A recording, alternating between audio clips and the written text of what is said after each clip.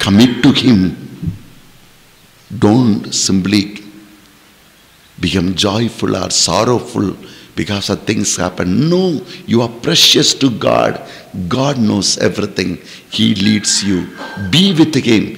Be with His programs and do. Our life is few years here. The children God has given to you is to build them up. They are not yours. They are given to you. Children are the heritage of God, Bible says. It is God's. The parents are only trusted ones and given to you. Then after some time you will go away. They too will go away. They will be busy with their children. This is life. But on the process, don't lose your purpose, your soul. He said in Matthew 16 26, What is the use of winning the whole world if you have lost your soul? That's why David said, I seek one, that one, to know you, O Lord. To know you, to know your purpose of creating me. And the more you hear the word, every need of yours gets settled here. He was a young man. He cried in Psalm 119, verse 9 onwards How can a young man live a pure life? Purity is first comes in the mind, not in your feelings. Feelings will come for everybody. But you have to take them into your mind. Hold on to that which gives you life and have the guts to throw away that which is not of God, that is trying to creep you, trying to capture you, trying to hold you. Yes. That's why David prayed like that. We read in the Gospel, Luke's Gospel, chapter 10. One day, Jesus was tired and came for a few minutes, the Bible says, as he was passing through Bethany. He's not come to stay in Bethany. He was passing through Bethany. He came to the house of Mary and Martha. And as soon as Mary and Martha they saw, they welcomed Martha, welcomed him into his into her house. And Jesus, he knew the little time he has. So he is teaching the people who are nearby. They are all sitting at the feet. And Martha's own sister, Mary, is also sitting at the feet of Jesus and listening to the word of God. Martha did good things, but all good things are not God's things. She did the good thing of immediately going inside, busy herself, preparing food for Jesus and the disciples. And Mary is sitting along with others and listening to the great word, word of God that transforms the life. The woman who was busy, the woman who wanted to do good for Jesus is disturbed. The tree is known by its fruits. Came and sat. Look at this. My sister is sitting here and like left me all alone. I'm struggling here. Jesus said, I'm sorry, I have not come you come here to make you struggle. You should understand, Ma- Martha, Martha, you are busy with many things in your mind. Your mind is captured. I want to do this. I want to do that. I want to become like this. I want to prepare coffee. I want to prepare this. You can also prepare food by listening to the word. The word has come to your doorpost. Your mind is filled with many disturbances. Mind is disturbed. What disturbed? My sister is sitting there. I am alone. I am alone.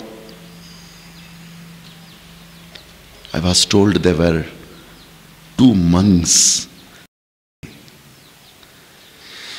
and they came to a river. They have to cross the river. And according to their rules, they should not carry anybody. They should be busy with their prayers. And they were praying and coming. Suddenly they saw one young girl on the shore.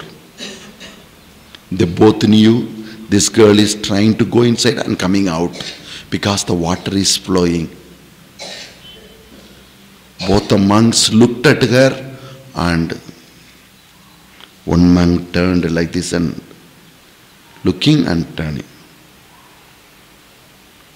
Another monk saw her. She is in need of help. She looked her, carried her, trying to lead her. When the water is going up, she was shouting. She, he lifted her, put her on his shoulder, crossed the river, left her there, and started to walk, saying the prayer. Another monk was murmuring, This fellow, we are not supposed to touch a man. Now he touched a lady and carried her. I saw. Undo, put her on his shoulder. What kind of. They reached the ashram. One fellow said, You are stupid. The another man who was praying said, What stupid? What did I do? We are not supposed to touch the lady. You carried the lady. That another monk said, Areo, I carried her and left her on the shore. You are carrying her till now.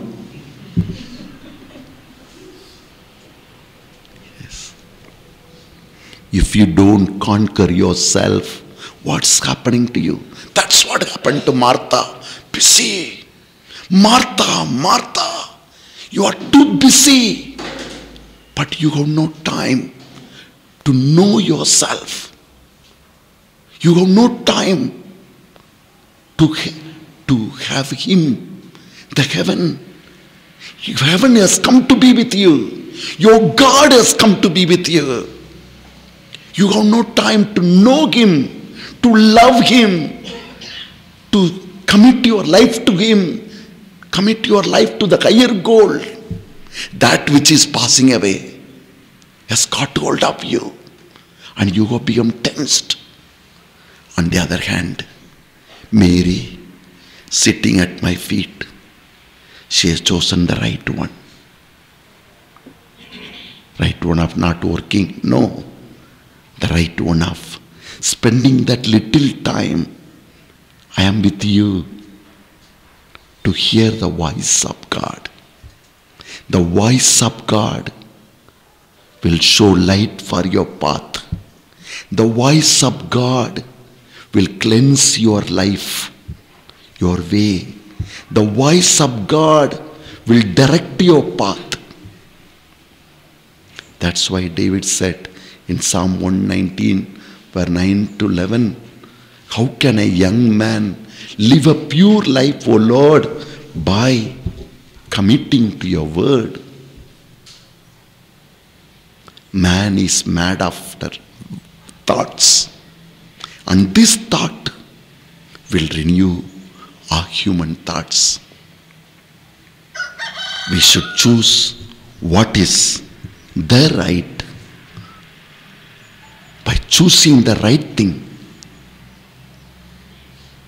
we make our life pleasing to God. We have to know ourselves. We have to know what the heaven has called us for what the heaven is kept for. And we say yes to it. By saying yes to God means saying no to many things, many people. Sometimes that is very, very difficult, very, very painful one. What will others think of me? What will happen to me? What will happen to my relationship? What will happen to my needs? No. Seek first Him. Give importance to that which is important. Many people in the world, they hold on to the grace of God to promote themselves.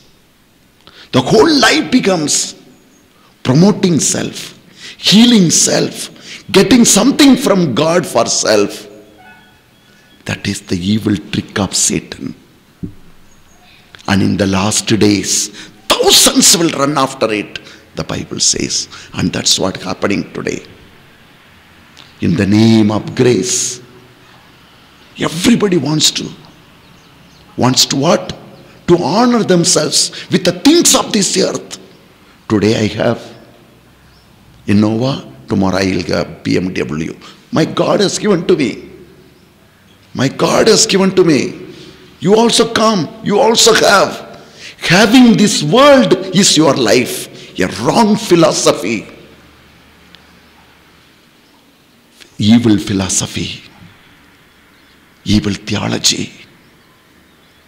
Whereas the theology of Christ is that you know the truth, offer yourself.